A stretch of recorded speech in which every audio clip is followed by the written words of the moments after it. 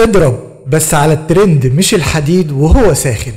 كل ما يكون في ترند وحضرتك تقدر تستغله في البدايات كل ما هتلاقي المردود اللي انت عايزه. سواء لو قناة لسه مش مفعلة هتقدر تحقق أو هيساعدها في سرعة تحقيق شروط الربح سواء من ساعات أو مشتركين. قناة مفعلة برضه هتقدر تستفاد من الترند في زيادة التفاعل والأرباح على قناتها. وطبعا مفيش أفضل من ترند قناة كريستيانو رونالدو اللي انت تقدر تستفاد منه زي ما وضحت في الفيديو السابق.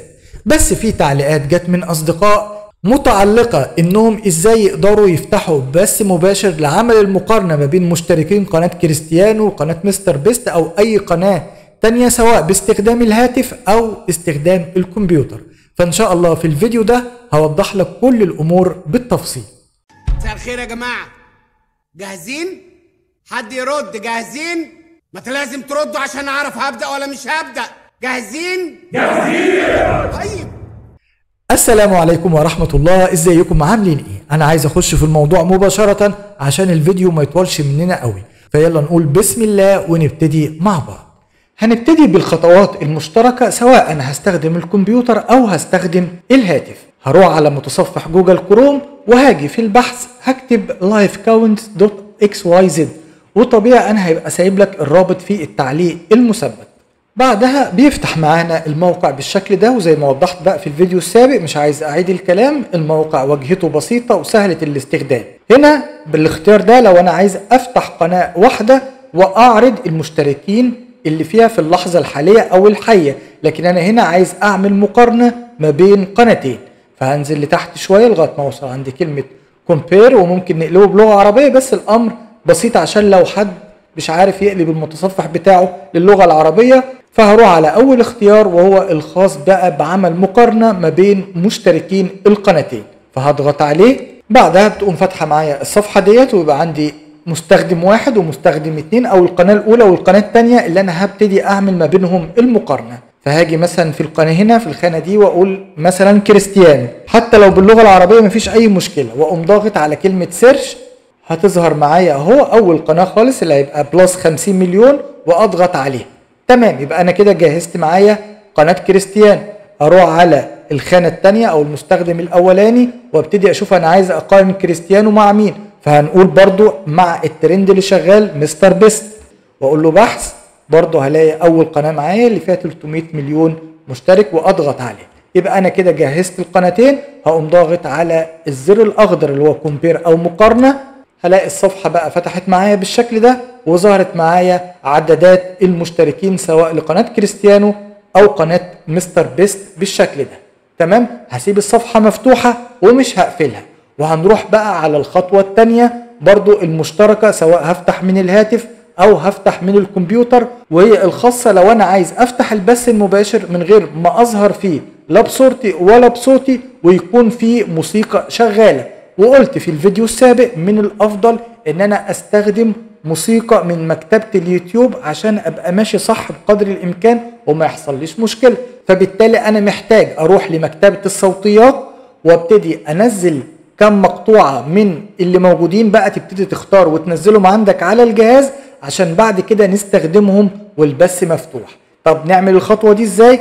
برضو يلا نعرف مع بعض. هتروح على القناة بتاعتك برضو لو انت بتستخدم الهاتف هتروح على متصفح جوجل كروم وتحوله عرض بإصدار سطح المكتب عشان تقدر تدخل على استوديو القناة بتاعتك. كأنك فاتح من الكمبيوتر بالظبط. فهضغط اهو وبعدين أروح على استوديو يوتيوب. وبعدين اقوم رايح على الاختيار الخاص بمكتبة الملفات الصوتية وأضغط عليه. بعد كده بتفتح معانا الصفحة ديت وتبتدي بقى حضرتك تسمع كم مقطوعة واللي تعجبك فيهم هتبتدي تنزلها على الجهاز بتاعك. طب هتنزلها إزاي؟ هقوم رايح كده على كلمة تنزيل وضاغط عليها. زي ما أنتم شايفين في ثواني خلاص اتحملت معايا على الجهاز. وهكذا بقى ممكن أسمع كم مقطوعة وأحملهم بحيث إن أنا كل لايف أفتحه أشغل مقطوعة شكل. تمام؟ فالنقطة دي برضو حبيت أوضحها عشان الناس اللي ما بتعرفش تحمل المقاطع الموجودة في مكتبة الملفات الصوتية على الكمبيوتر أو على التليفون بتاعها. يبقى إحنا كده خلصنا الخطوات المشتركة سواء هفتح من الكمبيوتر أو من الهاتف. تعالوا نشوف إزاي لو أنا هفتح بقى بث مباشر باستخدام الكمبيوتر. لو حضرتك هتبتدي تعمل بث مباشر باستخدام الكمبيوتر زي ما وضحت في الفيديو السابق ممكن أستخدم OBS Studio أو أستخدم StreamYard عشان أبتدي أعمل البث من خلالهم. فأنا هوضح هنا باستخدام OBS Studio إزاي أقدر أعمل خطوة زي كده. واللي عايز يعمل ب StreamYard أنا كنت شرحته في فيديو سابق قبل كده بالتفصيل سواء لو أنت عايز تعمل streaming من خلاله أو تبتدي تعرض أي حاجة على الشاشة بتاعتك هبقى سايب لك الرابط بتاعه في التعليقات عشان لو حبيت إن أنت تستخدمه. تمام. فهنبتدي نستخدم برنامج OBS Studio ونشوف إزاي هنعمل البث من خلاله. لو حضرتك لسه مبتدئ أو ما استخدمتش البرنامج ده قبل كده فأنا هوضح لك الخطوات الأساسية اللي تقدر تستخدمه بيه.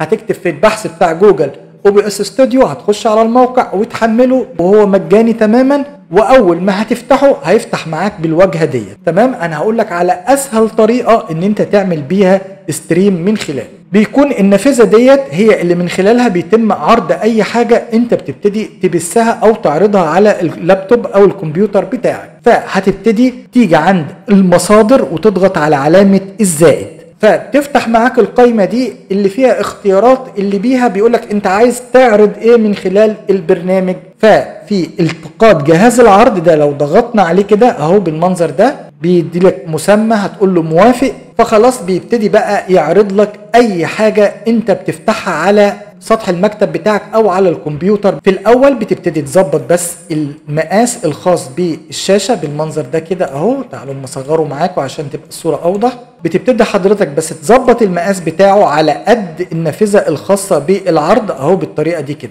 تمام؟ هو كده زي ما حضراتكم شايفين بيعرض أي حاجة موجودة على سطح المكتب أو على شاشة الكمبيوتر بتاعتي. فأنا لو قمت ضاغط وفاتح متصفح جوجل كروم زي ما اتفقنا إن أنا سايب الموقع مفتوح معايا بالشكل ده كده أهو فهيبتدي يعرض الموقع للناس وأنا فاتح البث المباشر بالشكل ده طالما أنا فاتح متصفح جوجل كروم.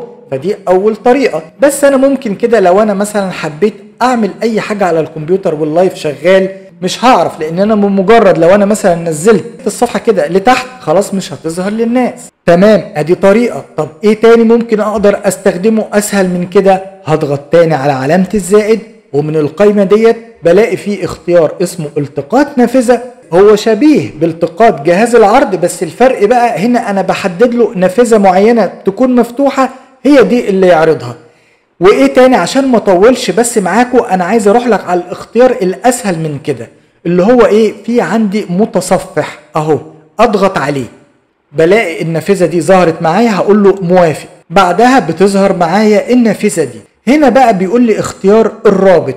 بمعنى هقوم رايح على متصفح جوجل كروم اللي إحنا فاتحين الموقع بتاعنا عليه وبعدين آجي آخد الرابط ده كده. نسخ أهو زي ما حضراتكم شايفين.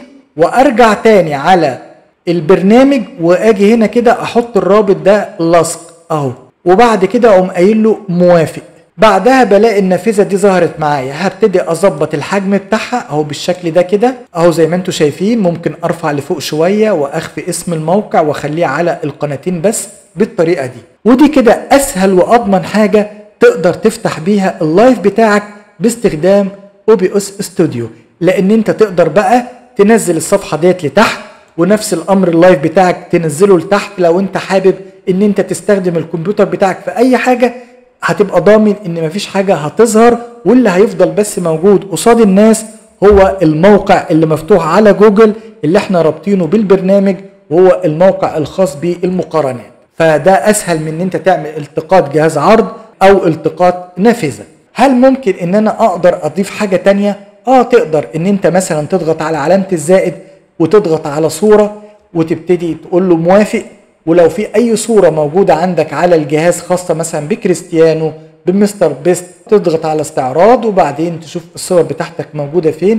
يعني مثلا على سبيل المثال ممكن أجيب صورة لكريستيانو هو أقول له open وأقول له موافق وبعدين أبتدي أظبط مكانها بالشكل ده كده مثلا عايزها هنا أهي وصورة متحركة لأن يعني تبقى فيها نوع من أنواع الجذب شوية بالمنظر ده أهو. وبعدين أضغط تاني على علامة الزائد وأقول له صورة موافق استعراض وأقوم جايب صورة لمستر بيست. وأقول له موافق وأبتدي أحطها هنا كده بالمنظر ده. أهو أظبط حجمها زي ما أنا عايز كده مثلا أهو. وهكذا بقى في أي حاجة أنت عايز تعملها عايز تكتب نص اشتركوا في القناة فعلوا زر الجرس أي حاجة هتضغط على زائد. وبعدين تقوم ضاغط على وبعدين تقوم ضاغط على نص وكاتب أي حاجة أنت عايزها. فدي كده الأساسيات اللي تقدر تفتح بيها اللايف بتاعك من خلال OBS Studio.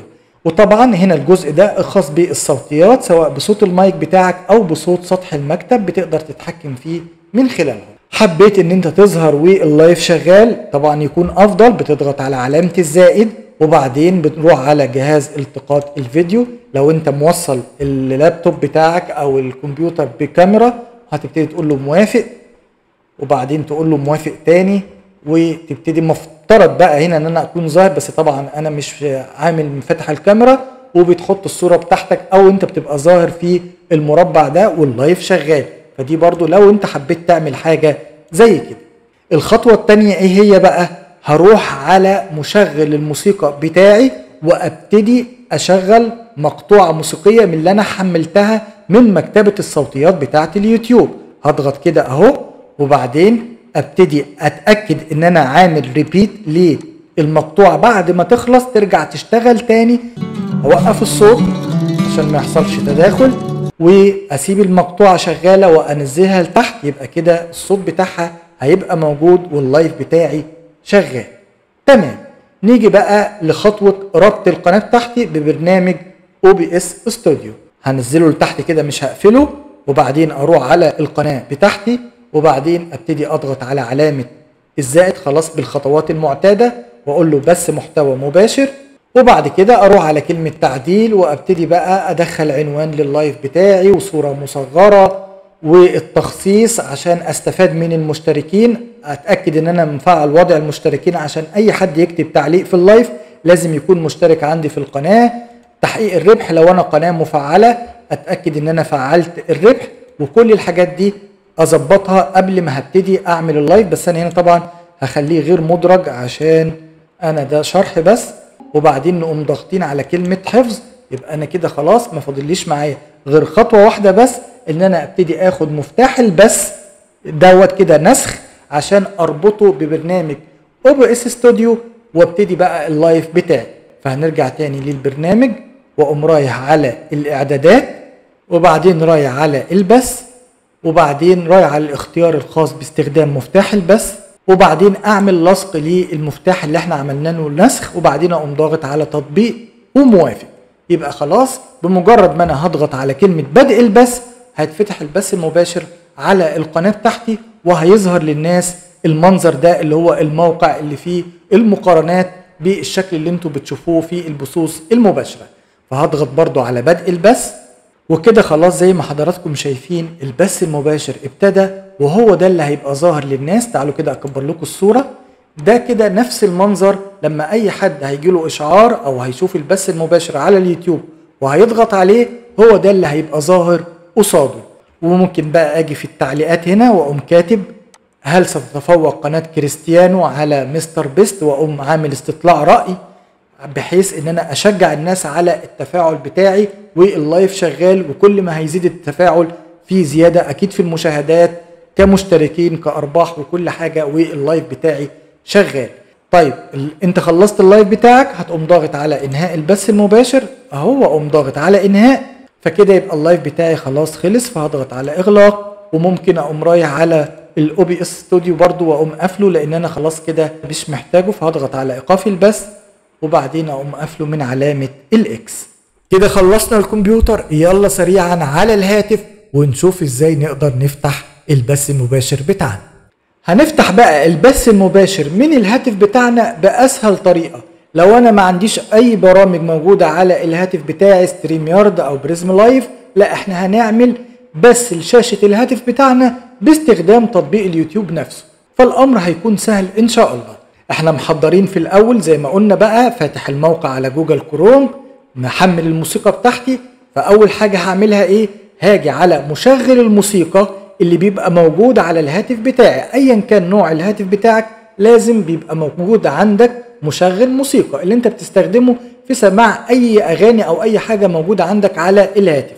فهنضغط عليه في الأول كده وبعدها هنبتدي نشغل المقطوعة اللي إحنا حملناها أهو. وبرضو نفس الأمر أتأكد من خلال الأيقونة دي اللي أنا مفعل الوضع الخاص بتكرار الأغنية عشان لما تخلص تتعاد مع نفسها. تمام؟ أنا طبعا قافل الصوت عشان ما يحصلش تداخل لكن زي ما أنتم شايفين المقطوعة الموسيقية شغالة اهي وهترجع تتعاد تاني. هسيبها شغالة زي ما هي وهنزلها لتحت اهو. تمام. بعد كده هقوم ضاغط بقى على تطبيق اليوتيوب وبعدين اقوم ضاغط على علامة الزائد وبعدين اقوم رايح على الاختيار الخاص بالبث المباشر. بتظهر معايا الصفحة ديت. أول حاجة ببتدي أختار عايز الكاميرا الأمامية أو الكاميرا الخلفية. حابب إن أنت هتقفلها مفيش أي مشكلة. وهنشوف برضو مع بعض إزاي. بعد كده المايك هنسيبه مفتوح. الاختيار اللي بعد كده ده خاص بطريقة عرض ال live بتاعك. عايزه عمودي ولا أفقي؟ بتتحكم من خلال الاختيار ده. زي ما أنتم شايفين قال لي كده اتجاه أفقي كده اتجاه عمودي. تمام. لغاية كده الأمور سهلة. هنروح على علامة القلم ونضغط عليها. هتبتدي تيجي في العنوان وزي ما اتفقنا هتكتب مقارنة ما بين قناة كريستيانو وقناة مستر بيست. مستوى العرض طبعا هتخليه علني بس أنا هنا هخليه غير مدرج. بعد كده هتخلي الفيديو غير مخصص للأطفال. طبعا لو عايز تعمل بس مشترك بس دي هنسيبها مقفولة دلوقتي. الوصف تدخل الوصف اللي انت عايزه. هنيجي للاختيار المهم بالنسبة لي وهو التسجيل الرقمي للشاشة وهتفعله. ليه؟ عشان من خلال الخيار دوت إحنا هنبتدي نعرض اي حاجة على شاشة الهاتف بتاعنا هتظهر وال live شغال.